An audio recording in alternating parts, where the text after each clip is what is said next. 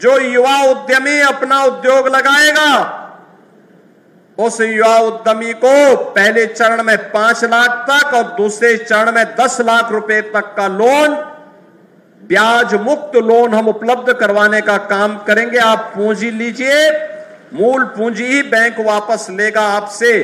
आपसे कोई ब्याज उसके बदले नहीं लेगा। नहीं तो बैंकों का जो ब्याज लगता है, वो चक्रवृद्धि ब्याज लगता है। अगर आपने सौ रुपया लिया है, एक वर्ष में एक सौ, यानी दस रुपये अगर ब्याज है तो अगले वर्ष वह पैसा एक सौ दस हो जाएगा, फिर एक सौ दस रुपये में ब्याज लगेगा। लेकिन हमने कहा, नहीं, ब्याज जो भी लगेगा, वह सरकार चुकता करेगी, जनता जनार्दन को पैसे देने की आवश्यकता नहीं, मूल धन ही वह जमा करेगा।